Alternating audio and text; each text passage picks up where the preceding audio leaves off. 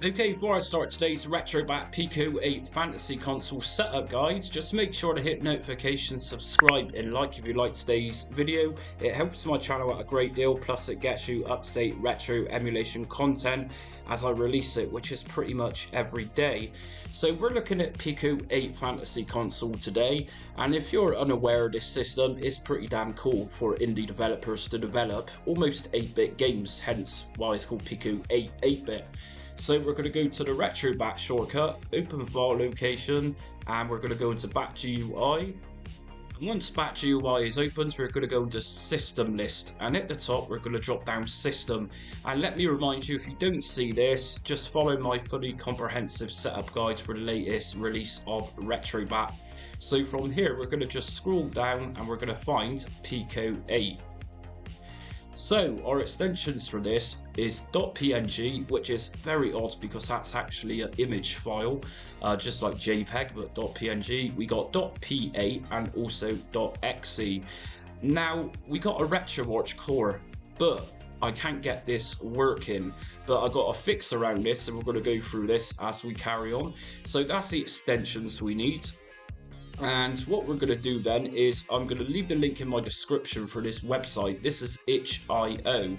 And what I've done is downloaded the file just here. And this is a free package with a cartridge launcher in it as well. So if we just download this and always support developers writing indie games using systems such as Pico 8 just to encourage them. Uh, I'm going to go to no thanks, just take me to the downloads and I'm going to download the windows.zip pack just here. That's going to download and once you've downloaded that you're going to end up with a zip folder. If you open up the zip folder, as I say we got a whole pack of free games in here and we've also got a launcher which is pemsa.exe. So what I'm going to do first is just make a copy of everything in here. So we got the games and we got the cartridge launcher and just copy this and I'm going to go into the RetroBat directory again. So right click on the shortcut open file location. First thing I'm going to do is just head into the ROMs folder and then look for Pico 8 and there it is. So what I'm going to do is just paste everything into this folder for now but there's a couple of files that we don't need in here. They go elsewhere and that's the sdl2.dll file as well as the PEMSA. So just highlight both of these. And I'm going to just drag those onto my desktop for now so they're not in the ROMs folder. And if we go into the emulators folder in RetroBat again we're going to look for Pico 8 and here it is. So I'm going to drag pemsa.exe plus that .dll file inside of Pico 8. Now what I'm going to do next is right click on pemsa.exe and I'm going to rename this. So show more options, rename, and instead of Pemsa, we want to rename this as Pico 8. And the reason that is because once we're inside a RetroBat, it's going to be looking for a standalone emulator called Pico 8. And with the original name of this, it doesn't establish a connection, so it's not reading it. And this is something which I've just thought of myself and it actually works. So what we're going to do next is open up RetroBat. We got those three games in our Pico 8 ROMs folder and we've now renamed this as Pico 8. So let's actually just double left click on this one, more info and run.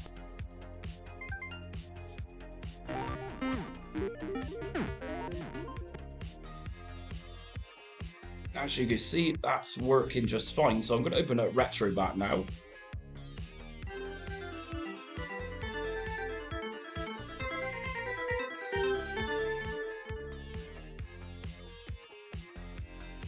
And we're going to find Pico 8 up here and here's all our games which we just downloaded uh, whether or not you want to download some artwork for these I'd imagine there's a fair few which aren't going to scrape so anyways if you want to attempt this main menu scraper and just go to scrape now.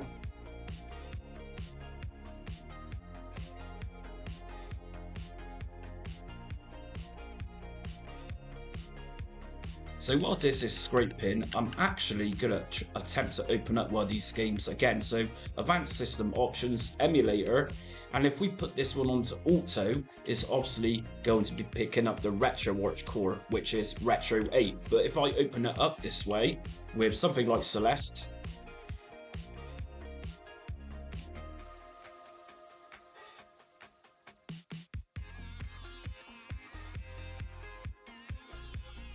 going to end up with a blank screen. In this, we can see that scraping is now scraping some of the artwork, which is pretty cool.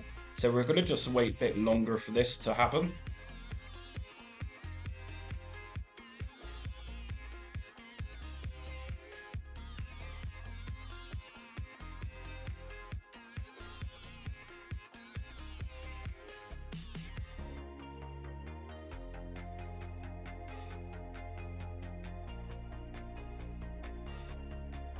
And scraping finish, update game list. So main menu, game settings, update game list, and yes.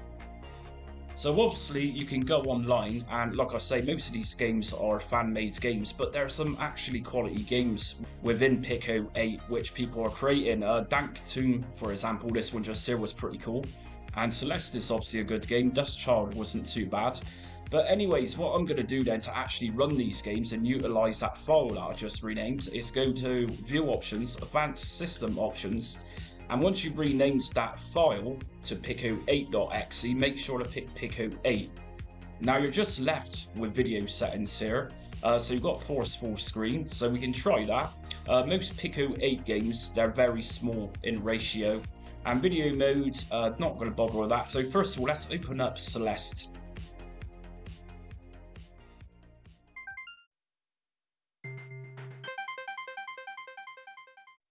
Thank you.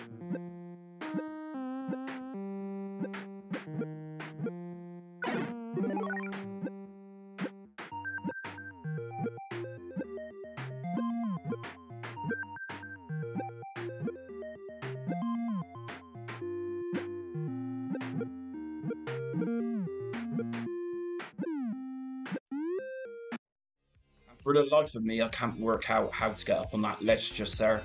So let's check out some other ones. Dank Tomb was another game which I just mentioned, which seemed pretty cool.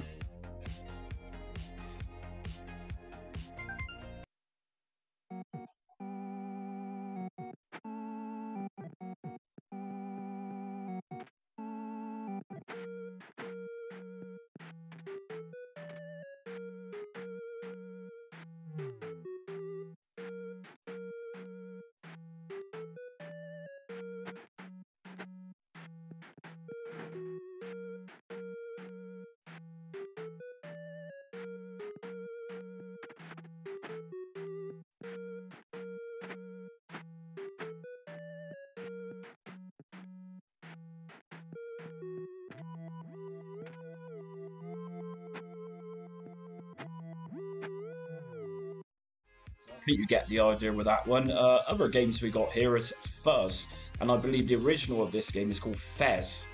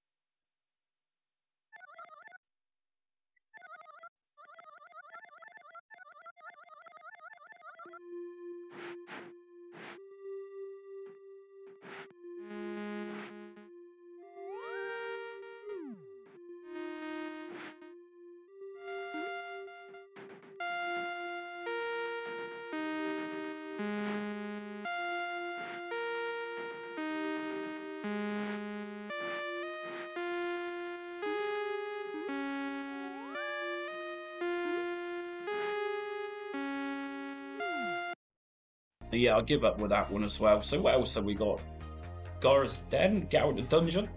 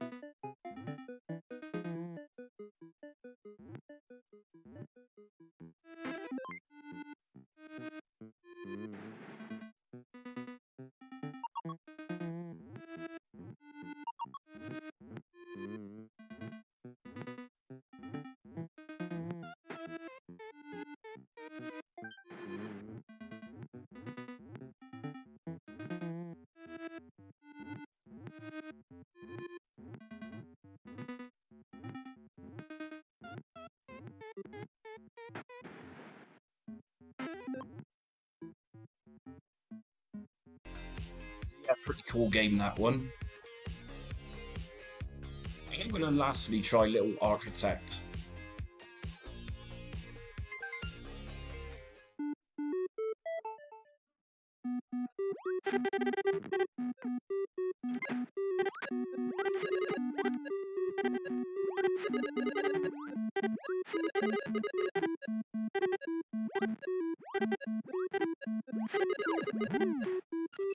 That's it for my RetroBat Pico 8 Fantasy Console setup guide today. If you like what you see, hit notification, subscribe and like so you don't miss any upcoming RetroBat and other retro emulation content I upload every day on my channel, just Jamie. Also feel free to follow me on social media. I'm on Facebook, Twitter, Instagram and TikTok. But until next time, stay retro.